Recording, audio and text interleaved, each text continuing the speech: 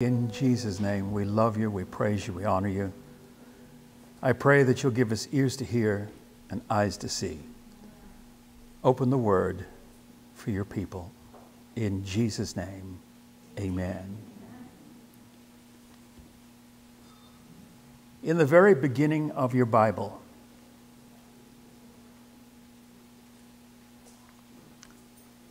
we have a unique story. I don't mean to imply by the word story that it's a fable. It's not a fable. I believe it to be literal and actual. But the story goes something like this Adam and Eve are created and given a domain, a garden to live in. And the garden is perfect in every way. In and about the middle of the garden, there are two trees. One, the knowledge of good and evil. And the other tree is the tree of life. Adam and Eve are granted permission to eat from the tree of life, but not from the tree of the knowledge of good and evil. They're given free rein and free access to the tree of life, and it appears, thank you, that something in the tree of life enabled them to have eternal life. Now, was this some sort of nutrient or vitamin or substance in this tree that was sustaining them? Or was it just that God said, You reach out and you take from this tree and you'll live forever? We don't know. How it worked, we don't know. We just know that as long as they took from that tree and ate, their biological clocks never ticked. They were frozen, if you will, in time in terms of being eternally young and eternally healthy. There were no weeds in the garden. There was nothing for them to work. They could tend the garden and eat from the tree, and they would live forever. And one day, they were introduced to something new. Now, we know that the serpent came into the garden and the serpent challenged what God had said, but what we don't know is how many times the serpent came into the garden. Was this the first time, or was he a regular caller? Because they didn't seem to be shocked. And then something interesting happens. Remember, to this point in time, there had never been a lie. They'd never lied to each other. They certainly couldn't lie to God. He was walking in the garden with them from time to time. There'd never been a lie. Everything had been the truth. And so in comes this very impressive creature, and he was impressive. If you want to look him up in the Bible, you can find many references to how he looked covered in gemstones, breathing fire, able to speak in a language they understood. And he challenges God's word.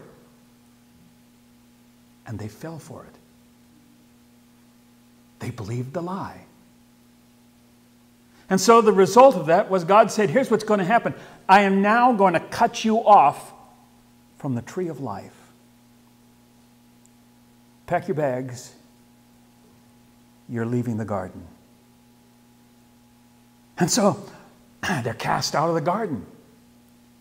And then God said, You know what I'm going to do? I, just to make sure that you don't get back into that tree of life, because life is going to be hard now. You're going to start to age. In the day that you eat of it, you will surely die. You will start to die immediately.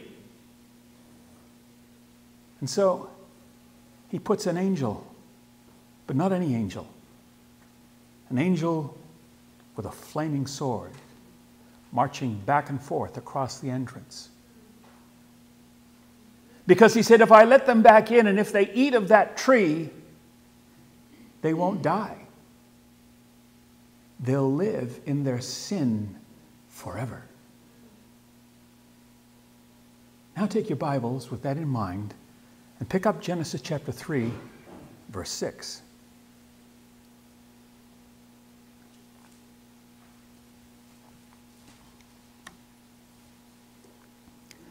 When the woman saw that the fruit of the tree was good for food and pleasing to the eye and also desirable for gaining wisdom, she took some of it and she ate it. And she gave some to her husband. You know what I think of him, who was with her, and he ate it. And then the eyes of both of them were opened, and they realized they were naked. So they sewed fig leaves together and made coverings for themselves. Their immediate response was, We got to cover our sin. We've got to cover our tracks here. Eve, let's gather up some leaves. God won't even notice. What could go wrong? Then the man and his wife heard the Lord God as he walked in the garden in the cool of the day, and they hid from the Lord among the trees of the garden. But the Lord called to the man and said, Where are you? As if he didn't know, by the way. He answered, I, I, I heard you in the garden and I was afraid because I was naked, so I hid. Who told you you're naked? Have you eaten from the tree that I commanded you not to eat from? Verse 21. Then the Lord made garments of skin for Adam and his wife and clothed them. What just happened here was amazing. They tried to cover their own sin, but it didn't work. They came up with a very reasonable alternative. They're living in a garden. Where better place to find leaves? What better raw material could you think of? Tree bark's a little rough. And so they cover themselves with these leaves and they think, they may have got away with it, but God spots the problem immediately. But here's what God does God now goes out and slaughters one or more animals for the covering of their sin. And he brings back to them skins. This is where you get the artist's impression of cavemen wearing skins. By the way, they were not cavemen and cave women. They dwelled in the garden, not the caves. And they covered, he, he covered them with this. But those skins had a price, just like yours does. The price was those animals had to die. And so, through the death of an animal, God accepted that as a covering for their sin. Take your Bibles and turn to Leviticus chapter 17, verse 11.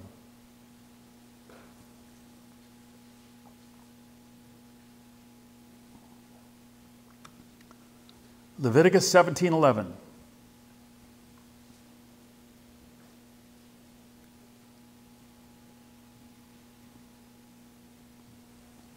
And here's what it says For the life of the creature is in the blood. Now let's just stop there for one moment. Your life is not in your brain. Neither is it in your heart. Neither is it in your gut. Your life is in your blood. Do you want proof? Drain your blood. You'll soon see. And as a matter of fact, there's an entire line of medicine called hematology. And what the hematologist does is he just studies blood. That's all. He's a blood doctor. Because he knows that if your blood is off in a particular area, both my wife and I just had vast amounts of medical tests, all blood work. You know, you go down there to the lab and they roll up your sleeve and they tie that little thing on and they start with the first needle and they stick it in there and then they start plugging stuff on the back of that. And you're filling one vial, two vials, three vials, four vials, and you're thinking, do I have much more? They're draining my life away here. And they take those tests away and they examine the blood in so many different areas and in so many different ways to see if you're okay. Because instinctively they know the life is in the blood, and if the blood is wrong, then you're in trouble. And there are a host of conditions which can affect your life permanently because your blood isn't right. Well, for the life of the creature is in the blood. For I have given it to you to make atonement for yourselves on the altar. It is the blood that makes atonement for one's life. Here's what he's saying He's saying, listen, the creature's life is located in that blood. And I have given it to you as a payment to make atonement. I have, I have given you a way of covering your sin. You started with leaves. I have given you a permanent way for generations through which you can cover your sin. And here it is the soul that sins shall die. But I've given you the ability to come in and make sacrifice. And so the Old Testament saints would come in and they would confess their sins. They would bring a goat or a lamb and they would lay their hands upon it and they would confess their sins. This is what we did. This is what my family did. This is what I've done. And then they would take a knife and they would slit the throat of that animal and they would bleed it out humanely, incidentally. And that covered their sin. And God said, I have given you that ability. I've made this possible. Therefore, say to the Israelites, None of you may eat blood, nor may any alien living, in your, eh, eh, eh, living among you eat blood. Any Israelite or alien among living among you who hunts any animal or bird that may be eaten must drain out the blood and cover it with earth. What's he saying? He's saying, listen, if, you, if you're hunting, if you, if you hunt for an animal and you, you catch that animal and you intend to eat it, by the way, you must drain the blood. It must be hung upside down and the blood drained, and that blood respectfully and adequately buried. Do you know our First Nations people do that? No, they didn't get it out of the Bible. They just do that because they believe the life is in the blood. You must treat the blood with respect, is what God is saying, because it's the life of that creature. Because the life of every creature is in its blood, verse 14. That's why I said to the Israelites, You must not eat the blood of, every, of any creature, because the life of the creature is in the blood. Anyone that eats it must be cut off. What's his point here? His point is if you kill an animal to eat it, you are not guilty of murder. As long as you take that blood and you respectfully bury it. You treat it with tremendous respect. The life of that creature is in the blood. Take your Bibles and turn with me now. That was just the preamble. Now we'll get to the sermon. Take your Bibles and turn with me, if you will, to Matthew chapter 26, verse 26.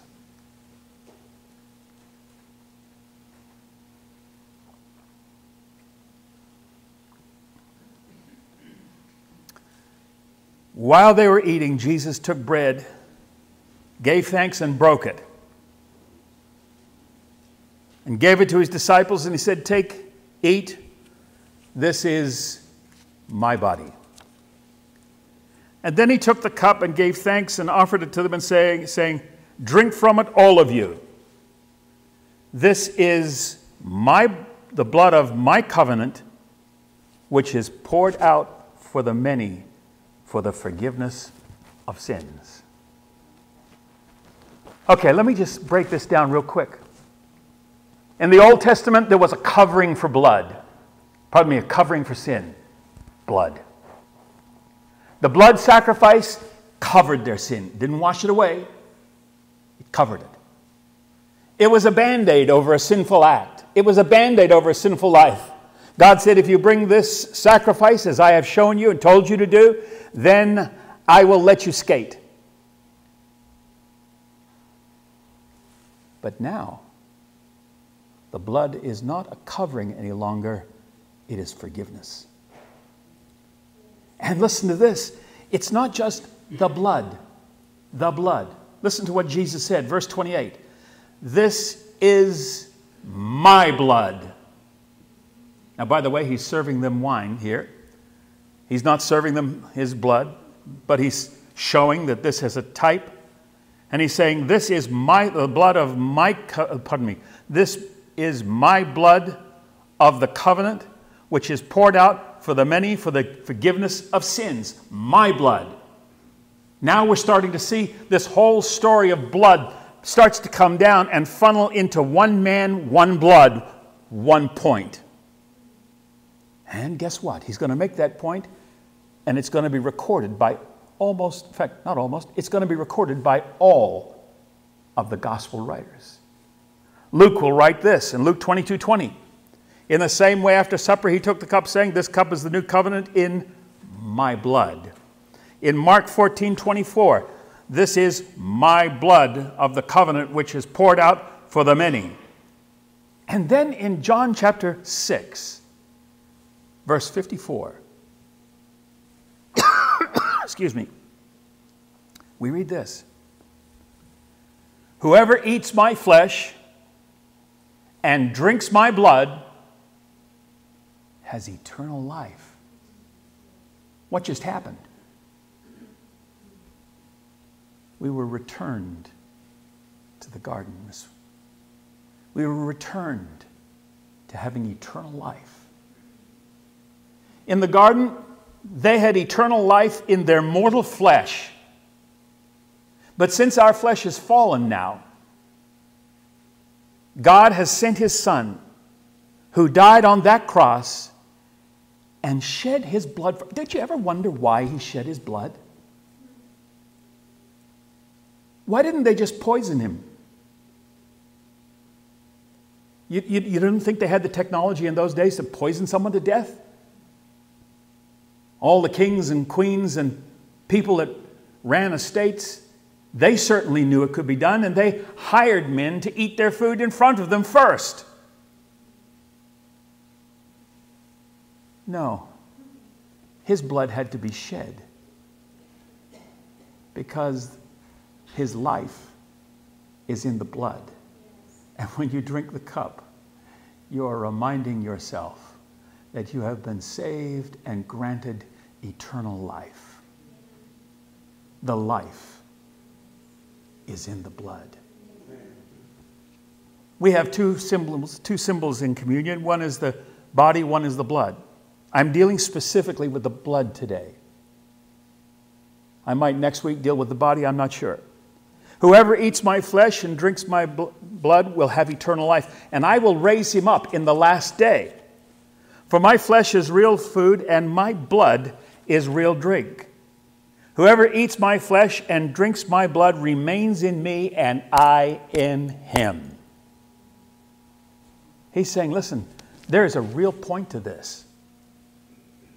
This is not just show and tell for Christians.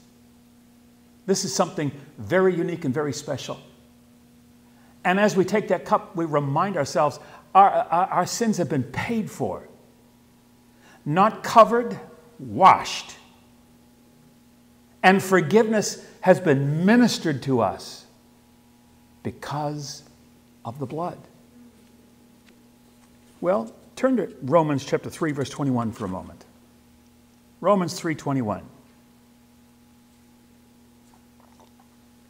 Do you remember when Jesus stood up and announced to the crowd, unless your righteousness is greater than that of the Pharisees, you're not getting in? Well, here we go. Romans chapter 3, verse 21. But now a righteousness from God, apart from the law, has been made known. Listen, righteousness under the law came with sacrifice.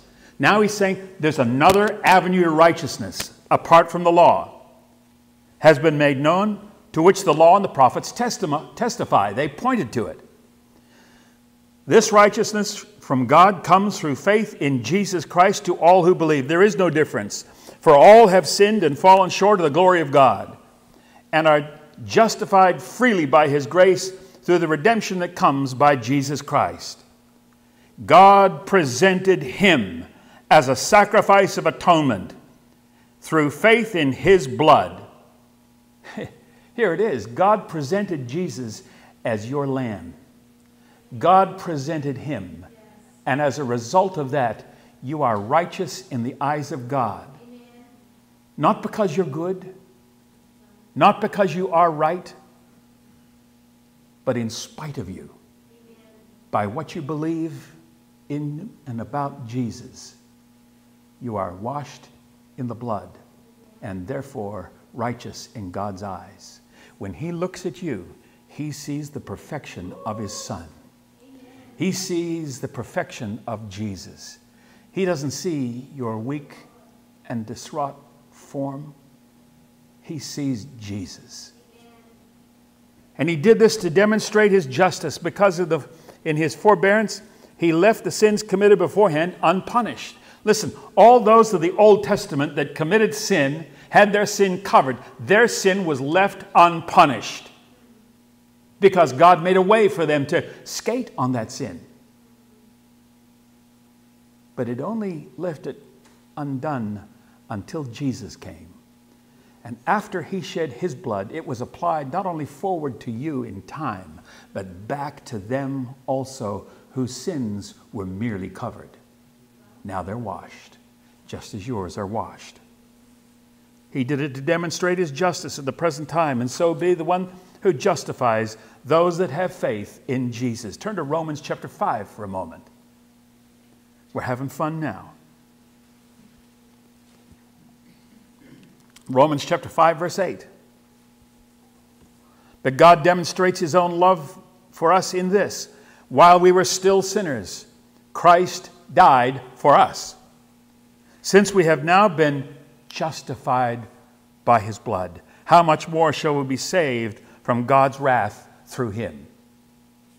We are not only made righteous, the column is balanced, it is justified. Some of you are old enough to remember checkbooks. Couple of people are smiling because you remember what it was like to write a check. You remember what it was like to stand in line behind somebody that was slow at writing a check. And about halfway through, they'd go, oh, and they'd tear it up and put void on it and bring another check. And then at the end of the month, you had to sit down with your statement and you had to justify it. Bank balance, bank statement, bank charges, you had to justify it. Your sins have to be justified. And the justification comes through the blood. I tell you, this is the most powerful stuff in the universe. Since we've now been justified by his blood, how much more shall we be saved from God's wrath through him? We are preaching right now on Tuesday nights through the pre trib rapture. And here it is you have been saved from God's wrath. That seven year tribulation is God's wrath. Yes, I'm aware it's not the only application for it but it certainly is. In Ephesians chapter 1, verse 4, He chose us before, uh, in Him before the creation of the world to be holy and blameless in His sight. In love, He predestined us to be adopted as sons through Jesus Christ in accordance with His pleasure and will, to the praise of His glorious grace, which He has freely given us in the one that He loves. In Him we have redemption through His blood, forgiveness of sins in accordance with the riches of God's grace. Forgiveness of sins in accordance with God's grace, redemption through his blood. Redeemed, how I love to proclaim it. Redeemed by the blood of the Lamb. Amen. Amen. We are redeemed through that blood. Amen. The life is in the blood. And when we place ourselves under the blood of Christ and we, we, we, we take this element, we're reminding ourselves I have been redeemed. I have been justified. I have been balanced. I, I, my sins have been paid for. I, I am under forgiveness and grace and mercy. God has done for me what I couldn't do for myself. I would have used leaves. In Colossians 1:19 it says this, for God was pleased to have all his fullness dwell in him and through him to reconcile to himself all things, whether things on earth or in heaven, by making peace through his blood. You now have peace with God. You are no longer at war with him or at enmity with him. You have peace. How do you have peace? Through the blood. The life is in the blood. You have peace with God through the blood of Jesus. Take your Bibles and turn to Isaiah chapter 61, verse 8.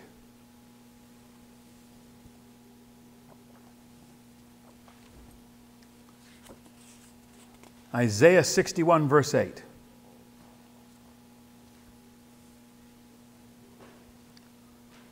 For I, the Lord, love justice, hate robbery and iniquity. In my faithfulness, I will reward them and make them an everlasting covenant, or make an everlasting covenant with them. Their descendants will be known among the nations and their offspring among the peoples. All who see them will acknowledge that they are a people the Lord has blessed. Somebody grunt amen. amen. I delight greatly in the Lord. My soul rejoices in my God, for he has clothed me with garments of salvation and arrayed me in a robe of righteousness, as a bridegroom adorns his head like a priest, and a bride adorns herself with her jewels. He has clothed us with righteousness. How? Through the blood. Through the blood. He took off your leaves and he gave you the blood of Jesus. And when we take this as our communion, what are we saying? We're saying, I recognize that you have saved me, that you have made me righteous, that you have forgiven me, that you are my friend and I am your friend, that I have a relationship with you. I am saying that I recognize that eternal life can only come through the blood of Jesus. It does not come through a box of pills or vitamins, and I take them all, trust me. Still got sick. It comes only through the blood of Jesus. In Hebrews chapter 9, verse 19, and we'll close here. Maybe. Hebrews 9:19 When Moses had proclaimed every commandment of the law, the law to all the people, he took the blood of calves together with water, scarlet wool, branches of hyssop, and sprinkled the scroll and all the people. And he said, This is the blood of the covenant which God has commanded you to keep. In the same way, he sprinkled with the blood both the tabernacle and everything used in the ceremonies. Now it's going back to the story of, uh, uh, of the, the writing of the book of Leviticus. And here he says, Listen, I want you to take this blood, or he took the blood, and he began to sprinkle it. And he said, Here's the blood of the covenant. This was the Old Testament covenant. But watch what verse 22 says. In fact, the law requires that nearly everything be cleansed with blood, and without the shedding of blood, there's no forgiveness. Let me read it to you from the King James. And in almost all things, by the law purged with blood, and without the shedding of blood, there is no remission. Why didn't they kill Jesus some other way? Because his blood had to be shed. And incidentally, when we get closer to next Passover, I'll, I'll deal with this a lot more. But what you need to see here is not only did they shed his blood, they never broke a bone in the shedding of his blood. There are remarkable things in his death. But without the shedding of blood, there is no remission of sins. There is no forgiveness. And through the shedding of his blood, his life, his eternal life, is ministered into you. And so every time we take this, we are saying, Thank you, Jesus. Thank you, Lord. Thank you for eternal life. Thank you for what I could not get for myself. I have gotten from you, and I am grateful. That's why we take the communion. Will you bow your heads with me? Precious Heavenly Father, in Jesus' name, as we head down now towards the table and the communion, I pray, Lord, that if there be some here that don't know you, that they would take this moment to repent of their sins and come to you. Lord, if there be some watching on the video that cannot honestly say they know this Jesus, Father, I pray that this would be their moment to make a decision for you. Lord, I thank you that you are ready, willing, and waiting to forgive them their sins. Father, in Jesus' name, come into their lives. Forgive them of their sins. And as we take this this morning, Lord, help us to remember the life is in the blood. The life is in the blood. Thank you, Father. In Jesus' name, amen and amen.